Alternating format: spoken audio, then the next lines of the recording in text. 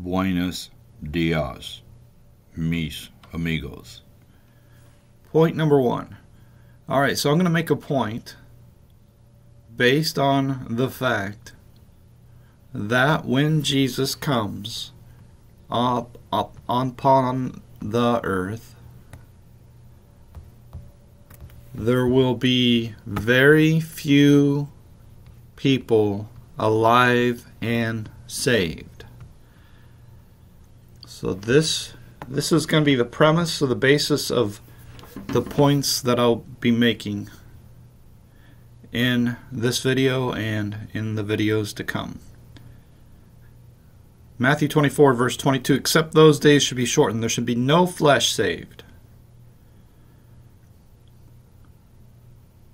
but for the elect's sake those days shall be shortened in other words there's coming a point to where if God allowed things to play out the way they are, there would come a point to where nobody's saved.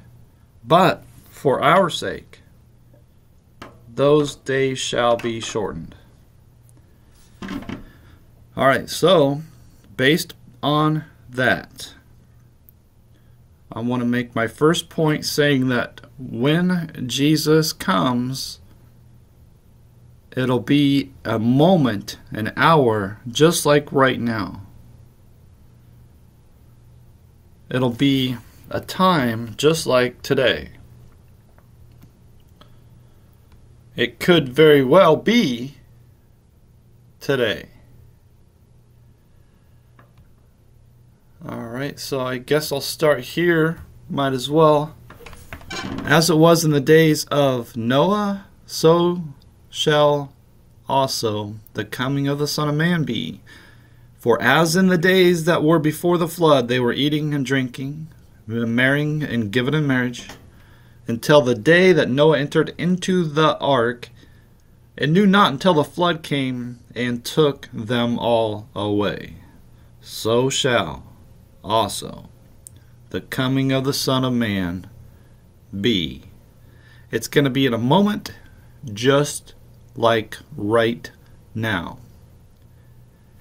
And a very important, very important, very, very important point is that you should know that when Jesus comes in the clouds of heaven, it is too late for anybody to get saved that has not already been born of God. Everybody alive that is not saved will die the second death. There is no more opportunity for the unsaved to get saved. And we live in a world where there are all these preachers preaching the most evil, wicked doctrine any man could possibly teach, and that is this idea that if you're not saved, you can wait until after Jesus comes in the clouds of heaven. And you can't.